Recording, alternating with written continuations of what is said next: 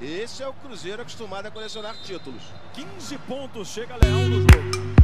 Esse pro saque, sem forçar. Felipe com o William, bola atrás da linha dos três. Gonçalves. Felipe trabalhando o passe com o William, buscou o Leão aqui. Ganhou a quantidade. Tirou o peso da bola.